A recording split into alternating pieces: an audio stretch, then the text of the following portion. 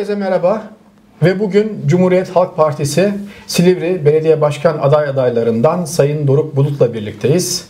Sayın Bulut yayınımıza hoş geldiniz. Hoş bulduk, merhabalar, günaydınlar. Günaydın. Ve yine program geleneğimiz olduğu üzere ilk soruyu sorması için sözü Sevginer Salih'e devrediyorum. Teşekkür ederim Cem. Doruk Bey hoş geldiniz. Hoş bulduk, günaydın. Ee, 2001 yılında Değirmenköy'de CHP belde binasından kapısından girdikten sonra 15 yıl yerel yönetimden meclis üyesi, Büyükşehir Belediye Meclis üyeliği, son genel seçimlerde milletvekili adaylığı ve şu anda belediye başkan aday adayı olarak Evet. karşımızdasınız. Evet. O günkü Doruk Bulut'la bugünkü Doruk Bulut arasında nasıl bir fark var? Geriye baktığınızda neler görüyorsunuz? Yani e, öncelikle e, tüm izleyicilerimize e, merhabalar, iyi günler diliyorum. Hepsine sevgiler, saygılar sunuyorum. E, 2001 yılıydı partiye üye olmuştum. Değirmenköy'de Cumhuriyet Halk Partisi'ne. Sonrasında belde başkanlığı görevinde bulundum. Sonrasında partim beni belki de umut ettiğim, hayal ettiğim her göreve getirdi. Ee, genç yaşından yaş aldığımız bu günlere kadar e, birçok başarı başarıyla dolu e, günlere günleri hep birlikte yaşadık. Fakat son yerel seçimde yaşadığımız başarısızlık bizi e, bugünlerde daha umutla, daha hırsla, e, daha büyük bir motivasyonla e, artık e, Cumhuriyet Halk Partisi'nde benimle beraber siyasete başlayan bu genç kuşağın artık göreve gelme zamanı geldi de geçiyor gibi bir izlenimle bugünleri tükettik, yaşadık. Peki sizin de e, güçlü bir şekilde destek verdiğiniz bir değişim hareketi geçirdi CHP. Evet. Son genel seçimlerden sonra. Nasıl bir CHP bekliyor bizi? E, sizin bakış açınızla bunu duyalım. Özgür Özel'in genel başkanlığında nasıl bir CHP bizi bekliyor? Şöyle söyleyeyim, e, bundan önceki Cumhuriyet Halk Partisi yönetimleri de genel başkanları da e, tamamen e, ülkenin yararına olacak her türlü siyasi projenin yanındalardı. Ama Cumhuriyet Halk Partisi'nde bir en son Cumhurbaşkanlığı seçiminden sonra sokakta, halkta, vatandaşta, kasapta, berberde bir değişim talebi oluştu. Bu değişim talebi e, cum, tabii ki e, eski kadroları e, eleştirerek değil, üzerine bir şey koyarak e, inşa edilecek bir değişim talebiydi. Farkındaysanız e, yeni genel başkanımız eski genel başkanımızla istişarelerde bulunuyor, ara ara görüşüyor. E, bu kö, bu değişim e, köklü bir değişimden ziyade e, genç kadroların göreve gelmesi, Cumhuriyet Halk Partisi'nin daha sahada olması, Cumhuriyet Halk Partisi'nin daha anlaşılır siyaset yapması ve Cumhuriyet Halk Partisi'nin e, alışıla gelmiş olan e, sadece meclis grup toplantıları yerine sahada, sokakta, il başkanıyla, gençlik kollarıyla, kadın kollarıyla kendini daha iyi ifade etme enerjisini yakaladığı bir yaş ortalamasıyla e, önümüzdeki yerel seçimlere ve sonrasında Cumhurbaşkanlığı seçimlerine e, hazırlanan bir görüntüsü Özgür Özel'le birlikte çok daha dinamik bir şekilde Cumhuriyet Halk Partisi'nde var. Bunu yaşıyoruz. Şimdi konu hazır genel merkezden açılmışken Doruk Bulut CHP Silivri ilçe örgütü içerisinde genel merkez yöneticileri ile çok yakın ilişkiler kuran bir isim olarak biliniyor. Bunun öncesinde Muharrem İnce ile de yakın bir arkadaşlık söz konusuydu. Evet. Üst düzey isimlerle bu kadar Evet. yakın ilişki kurmanın bir sırrı var mı? Herkesin kendine göre bir melakesi var. Benim de melakem bu olsa gerek. Ama e, şuna kesinlikle katılmıyorum. E, ben sadece üst düzey yetkililerle e, yakın ilişki kurarken Artı üst düzey diyelim ona o zaman. Taban artı üst düzey. Şöyle söyleyelim daha iyi olursa. e, sadece üst düzey yöneticilerle iyi ilişkiler kurarken ben tüm Silivri'li hemşerilerimle yaklaşık 20 senedir çok iyi ilişkiler kurabiliyorum.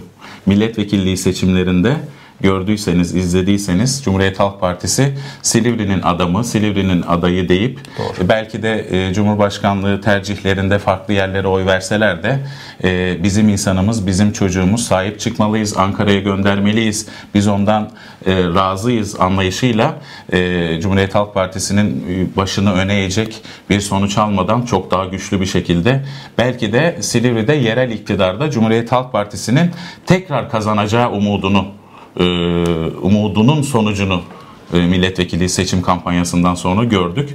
Dolayısıyla biz e, sadece üst düzey olan siyasetçilerle değil, e, Silivri'de her partiden olan siyasetçilerle e, AK Partilisinden MHP'lisine, e, Deva Partisi'nden Gelecek Partisi'ne, Saadet Partisi'ne bunların her birileriyle iyi ilişkiler içinde olan ama daha çok vatandaşımızla e, bana ulaşan herkesin işini çözmeye yönelik bir anlayışla, onunla yardımcı olma anlayışıyla bugünlere geldik.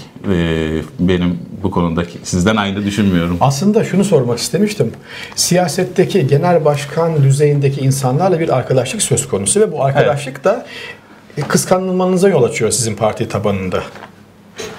Yani e, örnek veriyorum CHP'de nazar etme ne olur çalış senin de olur. Doğru güzel bir cevap oldu şimdi evet. Devam edecek misiniz? Yani sevgiler sana devredeyim sözü. Tamam. Sonra ben Hı-hı. diğer bir sorum var. Onu sonra saklıyorum. Ee, genel merkez düzeyinde hazır so- konusu açılmışken şunu sorayım. CHP'nin genel merkezinde ve il başkanlığında ciddi temaslarınız oldu Cem'in de belirttiği gibi. Hı-hı. Bir de bir u- ulusal kanal e, tecrübeniz var. Evet. Biz Silivri'ye kendi açımızdan bakıyoruz, bir şeyler değerlendiriyoruz. Siz uzun zaman bizim aramızdaydınız. Şimdi o bakış açısıyla da Silivri'yi gördüğünüzde bizim buradan göremediğimiz ne var mesela? Silivri nasıl görünüyor? CHP'nin genel merkezinden, il başkanlığından, ulusal medyadan. Çok e, bir kelimeyle söyleyeceğim size. Silivri özellikle Cumhuriyet Halk Partisi ve siyaset kanadında e, bölünmeyi alışkanlık haline getirmiş bir ilçe olarak görünüyor. Kendi içinde bölünmeyi alışkanlık haline getirmiş bir ilçe olarak görünüyor. Ama bizler e, takdir edersiniz ki mevcut 9 adayımız var. Aday adaylarımızla birlikte e, bu dönem e, işte Özgür Özelliğin genel başkanlığında olduğu gibi değişimin yüzyılı, yüzyılın değişimini Silivri'de yaşatmak adına bir anlayış ortaya koyduk. Bu anlayışımız ne? Her birimiz birbirimizin yanındayız. Ayrılmadan, bölünmeden Ankara'dan ve İstanbul'dan, yukarıdan Silivri Cumhuriyet Halk Partisi'nin nasıl göründüğü tabusunu yıkacak bir anlayışla alanda, sahada, meydanda ve birbirimizin arkasında durarak e, yere düşmüş bu Cumhuriyet Halk Partisi bayrağını Silivri'de tekrar göndere çekmek için alışılagelmişin dışında bir azimle ve motivasyonla çalışmalarımızı sürdürüyoruz.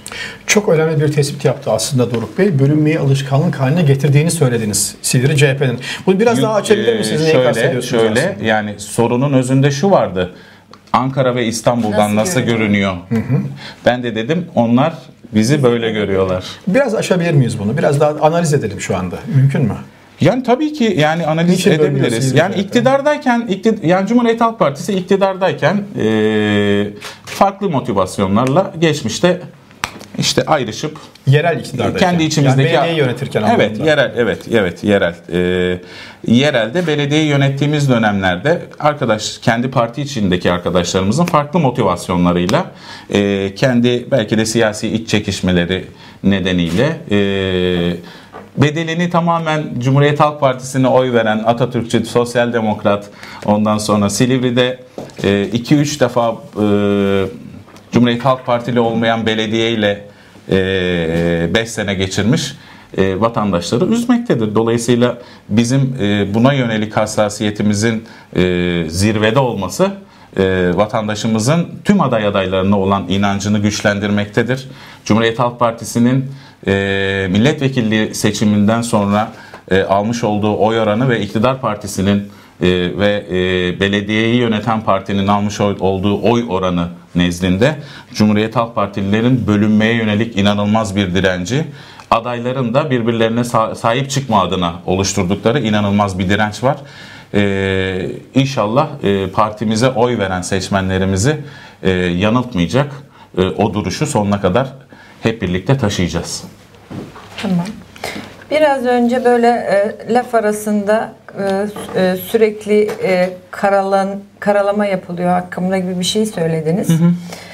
E, ben e, şöyle yönelteyim sorumu. Doruk Bulut'u belediye başkan adayı ve belediye başkanı olarak görmekte güçlük çeken bir vatandaşla karşı karşıyasınız. Onu ikna etmek için ne söylersiniz?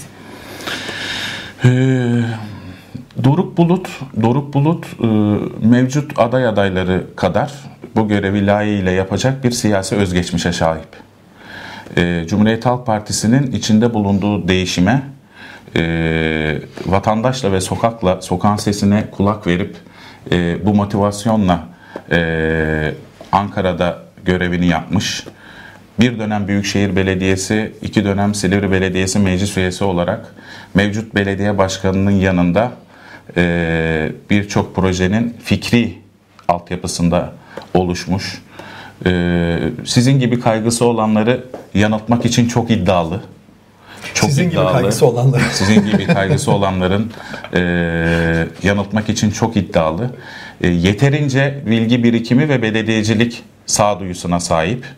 E, kamucu bir anlayışla e, ve e, Silivri'de yaşayıp, Silivri'de doğmuş, Silivri'de büyümüş ve Silivri'nin eksiklerini, artılarını, eksilerini iyi bilen bir e, arkadaşınız, kardeşiniz olarak e, kendi hayalimi Silivri'ye yansıtma noktasındaki iddiamı e, belki de sizin gibi benim için yanlış düşünen tüm vatandaşlarımızın e, algısını ortadan kaldıracak bir kampanyayla, bir müthiş bir kampanyayla e, tekrar Cumhuriyet Halk Partisi'ne belediyeyi kazandıracağımızı e, yaşayarak tanık olacaksınız. Burada çok uzun uzun anlatarak olmaz, yaşayarak tanık olacaksınız. Peki Volkan Yılmaz'ı belediyecilik açısından başarılı buluyor musunuz? Bulmuyorum. Niçin bulmuyorsunuz? Eleştirelim buyurun. Şöyle, şöyle. İlk defa bir aday bu kadar e, net bir cevap verdi İlk herhalde. defa evet. Evet. evet. Yani belediyecilik faaliyetlerini sadece kaldırım, asfalt yol yapmakla sınırlı sayarsak e, bununla ilgili yorumumuz farklı olurdu. Ama belediyecilik bir organizasyon işi. Belediyecilik bir e, ekip işi. Belediyecilik bir birlikte yönetme sanatı. Belediyecilik bir yöre derneklerini, sivil toplum örgütlerini e, birlikte yaşama birlikte yaşama ve birlikte yönetme anlayışını vatandaşa hissettirme sanadı. Bence Silivri Belediye Başkanı Volkan Yılmaz Silivri'yi yalnız başına hiç kimseyle birlikte olmadan yönetmeye çalıştığı için başarılı bulmuyorum. Bir şey sorabilir miyim bu Tabii ki. soru cevapla ilgili? 4 yıl meclis üyesiydiniz Evet. Silivri Belediyesi'nde. Evet. Bu görüşlerinizi e, ifade ettiğiniz bir meclis toplantısı ben mi hatırlamıyorum? Ee, belediye başkanının ortak e, ortak çalışma anlayışı bu dönem içinde hiç olmadı. Ee, hatırlıyor musunuz Silivri Belediye Meclis grubuyla belediye başkanı ayda bir kere toplansında belediye başkanı davet etsin de hep birlikte Silivri ile ilgili e, muhalefet iktidar bir şeyler düşünsün. Tanık oldunuz mu Sevginer Hanım? Ben Evet. 4 sene meclis üyesiydim. Bir kere yemek yedik. Evet. Bir kere Silivri'yi tartıştık. Ben bir kere konuştuk. bir kere yapacağız Evet. herhalde. Dolayısıyla dolayısıyla bu eleştirilerimdeki haklılığıma e, burada onay verirseniz çok memnun olurum. Veremeyeceğim. Yani sadece kaldırım ve asfalt yaptığını düşünmüyorum. Yani sizin gibi düşünmüyorum. Kampanya döneminde bunları hep birlikte konuşacağız. Tamam. Peki belediye başkanı olma fikri sizde tarih olarak aşağı yukarı ne zaman oluştu? Neler düşündünüz? İl kongresi ve kurultay, nedir? il kongresi ve kurultay süreçlerinden sonra e, bu görevi yapabileceğime, CHP'deki değişime katkı sağlayacak bir e, partili, bir eski belediye meclis üyesi, bir e, Silivri'ye sinerji yaratmış, Silivri'de e, bizim çocuk dedirttiğimiz bir kampanya sonrası bu fikir bende oluştu. Benim kişisel demokratik bir hakkımdır. Bu hakkımı sonuna kadar kullanmak istiyorum. Her arkadaşımız gibi. Tamam. Biraz yumuşatayım mı ortamı? Tabii ki. Şimdi ben birkaç tane isim hazırladım. O isimleri size okuyup onlarla ilgili ilk aklınıza gelen şeyi söylemenizi Tabii. rica ediyorum. Selami Değirmenci, Eski belediye başkanımız. Özcan Işıklar, Abimiz, geçmiş dönem yol arkadaşımız, ondan sonra biz bizde emeği olan, bize belediye başkanlığı yapmış. Belediye başkanlığının dışında da birçok konuda e, Silivri'yi yönetirken birçok konuda bize fikir, fikrimizi alarak, projelere ortak ederek e, bize yol göstermiş siyasi bir büyüğümüz. Muharrem İnce. Eski bir arkadaş. Artık arkadaş değil misiniz? Eski bir arkadaş. Kemal Kılıçdaroğlu, Bana bana Silivri'de e, en büyük onuru yaşatan beni milletvekili listelerinde 12. sıraya koyarak siyasi hayatımın en büyük gururunu yaşatan e, Cumhuriyet Halk Partimizin eski genel başkanı. Özgür Özel, Özgür Özel gelecek, umut, Ekrem İmamoğlu, Her şey çok güzel olacak. Melih Yıldız, Aramıza giren kötü olur. Filiz Bulut. Her şeyim. Teşekkür ederim. Şimdi Doruk Bulut aslında bizim kısmen meslektaşımız da sayılıyor. Çünkü Halk TV'de kendisinin idari bir görevi var. Ben görev tanımlamasını belki biliyorum ama merak edenler için bir de Doruk Bey'in ağzından dinlemek istiyoruz. Doruk Bey siz şu anda Halk TV'de hangi görevdesiniz? Yani Halk TV'de e, yani bir yönetim kurulu üyeliğim var. Aynı zamanda tabii e, Halk TV'nin sahibi e, abimiz, dostumuz, patronumuz yurt dışında yaşıyor. E, yani genel genel anlamda bir koordinör, koordinatörlük görevi, o işte patronla böyle şey kanal arasında bir köprü vazifesi desek daha iyi bir tanım olur ama hani e, patron yarısı derler ya öyle öyle bir durumumuz var. Vekil Haç gibi. evet. Evet. Ee, Ekrem İmamoğlu'na da bir parantez açalım mı? Tabii. Ee, ikinci dönem adaylığı kesinleşti. Evet. CHP tekrar e, Ekrem İmamoğlu ile ikinci bir seçime giriyor. Bu süreçle ilgili düşüncelerinizi merak ediyorum. Yani e, hatırlıyorsanız Sevgin Hanım bir önceki seçimde bizler e, Ekrem İmamoğlu gücünü e, ve Ekrem İmamoğlu'nun e, Silivri'ye katacağı e, anlayışı e, Silivri'mizde çok hissettiremeden bir kampanya yürütmüştük. Ama bu dönem çok avantajlı Cumhuriyet Halk Partisi. Çünkü Türkiye'ye mal olmuş. E, yaptıklarıyla e, yaptıklarıyla İstanbul halkının gönlüne girmiş. Bunu Silivri'de e, farklı partilerden olmamıza rağmen çok güçlü hissettiren, Silivri'ye çok güçlü hissettiren, e, kesinlikle e, burada bir Milliyetçi Hareket Partili belediye var. E, biz buraya bundan önceki gibi e, farklı bir gözle bakalım. Hizmet anlayışında birlikteliği ortadan kaldırıp siyasi akılla bu işi yönetelimi elinin tersiyle itmiş. E, Silivri bizimdir. Silivri'de e, yaşayan insanlar bizimdir. E, Silivri Belediyesi'nin bizden her talebi kabulümüzdür anlayışıyla Silivri'ye birçok hizmet etmiş. Ekrem İmamoğlu şansıyla önümüzdeki seçimlere gireceğiz. E, dolayısıyla bu bizim için çok büyük bir avantaj olacak. E, tabii ki yaptıklarının yanında önümüzdeki dönem yapacaklarını da çok merakla beklemekteyiz.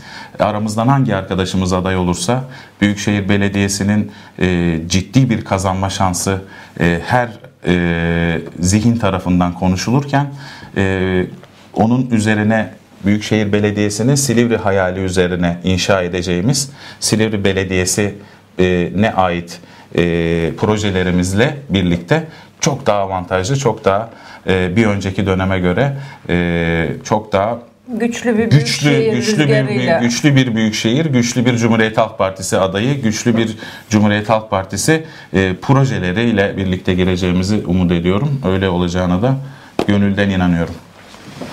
Devam edeyim mi? CHP'nin belediye başkan adayı siz oldunuz. İlk yapacağınız iş ne olacak? Cumhuriyet Halk Partisi'nin belediye başkan adayı, Adayı. olduk da. Henüz adaylıktayız. Tamam adayı olduktan sonra Evet. mı? E tabi arkadaşlarımla bir araya geleceğim. Biraz önce söylediğimiz o motivasyonu motivasyonu hep birlikte kol kola el ele girerek onların hayalleri, Bora'nın hayalleri, Melih'in hayalleri, Dilek'in hayalleri, Semih'in hayalleri, bu, bu genç beyinlerin şimdi ismini sayamadı hata da etmek yapmak istemiyorum. Yani diğer tüm aday adaylarımızın hayallerini bir yerde bir hamur edeceğiz. Oturacağız, ortaklaşacağız, uzlaşacağız. Kol kola gireceğiz, sahaya çıkacağız. 80'e yakın meclis üyemizle, meclis üyesi adayımızla, 9 tane belediye başkan adayım, adayımızla, aday adayımızla hep birlikte kol kola güçlü bir şekilde gireceğiz. E, Geçmişte yaptığımız eksik ve hataların hiçbirini yapmamak üzere bir anlayışı içselleştireceğiz ve e, tahmin ediyorum 85 veya 80 gün sürecek kampanya sonrası bu Cumhuriyet Halk Partisi'nde olan değişimi Silivri Belediyesi'nde de vatandaşlarımıza yaşatacağız. Aday siz değilseniz başka bir arkadaşınız. Hiç önemli değil. Kimse aday, aday kimse e, benim adayımdır. E, hiçbir görev beklemeksizin tıpkı bir video çekip paylaştığım gibi aynı noktada Cumhuriyet Halk Partisi'nin adayı kim olursa olsun onun yanında aslanlar gibi duracağız. Onun önünü açacağız.